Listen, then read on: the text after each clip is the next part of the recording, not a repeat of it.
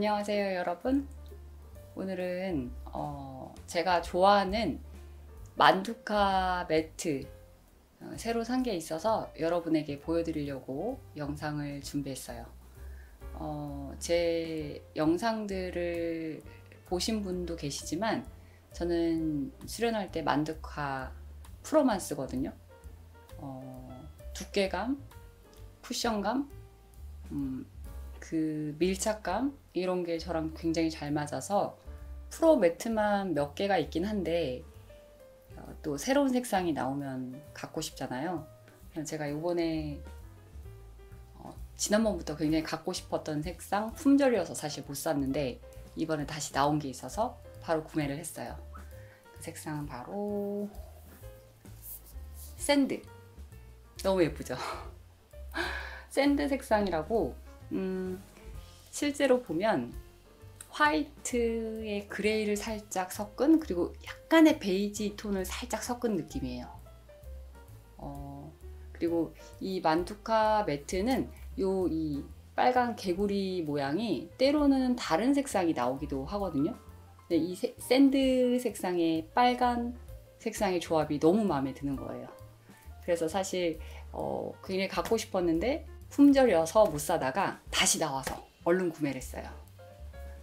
음, 이 매트를 처음 사면 사실 조금 걱정되는 게 굉장히 미끄럽거든요. 한 2주 정도 좀 고생을 한다고 보면 돼요.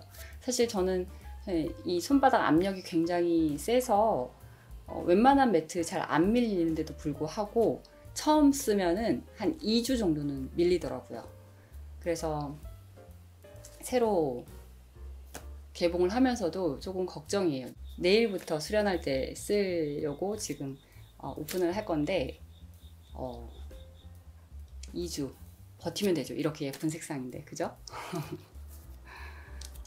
자 그러면은 뜯어볼게요. 사실 이런 거 새로 뜯을 때 조금 설레이잖아요. 뜯겠습니다. 네, 과감하게 뜯어버리고 역시 만두가 프로는 두께가 굉장히 한 6mm라고 하는데 6mm 쿠션감과 두께감 굉장히 제가 선호하는 편이에요. 그래서 초보자분들이 처음에 이 매트를 쓰면서 굉장히 당황하더라고요. 너무 미끄러워. 생각보다 너무 미끄러워서. 근데 제가 항상 말씀드리죠. 2주만 버티라고.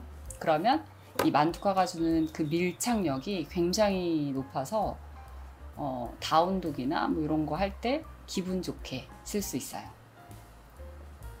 그리고 처음 구매를 하면 뭐 처음에 이 겉에 유막이라고 해서 매트를 보호하기 위해서 이 막을 씌우거든요. 근데 그것 때문에 미끄러운 건데 그걸 처음에 좀 벗겨내기 위해서 소금을 뿌리고 방치했다가 다시 그 소금을 걷어내고 닦아내라. 그러면 좀 덜 미끄럽다. 라고 해서 저도 처음에 사실은 매트를 구매를 했을 때 어, 일일이 다 소금 뿌리고 소금 닦아내고 했었던 것 같아요. 근데 그 뒤로 그냥 한번 써봤는데 사실 소금을 뿌렸을 때와 안 뿌렸을 때의 미끄러운 정도가 거의 비슷하더라고요. 그래서 저는 그냥 귀찮아서 제 손때를 열심히 묻혀가면서 어, 쓰는 편이에요. 그럼 내일부터 또 새로운 매트와 함께 잘 적응하면서 수련해 보도록 할게요. 언제 한번 영상으로 수련하는 모습도 보여드릴게요.